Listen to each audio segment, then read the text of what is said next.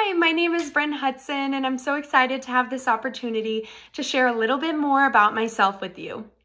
I'm from a small town called Harmony, Florida. It's actually in a rural area just 30 minutes away from Burrell's forthcoming Florida campus. Unfortunately, my town had limited access to medical care. So growing up, this meant my family had to either drive into Melbourne or Orlando to receive more extensive medical treatment. This made me very aware of the hardships of living in an underserved community by a young age.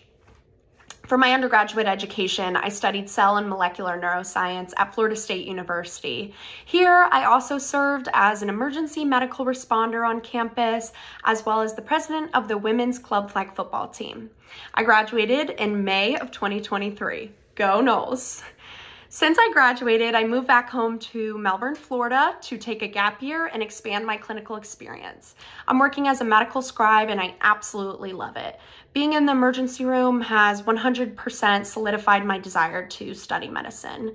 And I'm specifically extremely passionate about osteopathic medicine. This is because of my personal wellness journey. I've struggled with polycystic ovarian syndrome my entire life. And up until recently, it's been a long, hard journey. Thankfully, I have an amazing gynecologist that taught me the whole body approach to medicine, and this has completely transformed my life.